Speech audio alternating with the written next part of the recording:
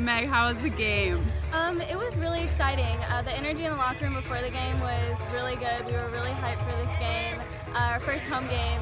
So we all came out and just right off the bat, the energy was really, really high. And we started connecting passes really well. Everything that we worked on in practice this week really paid off.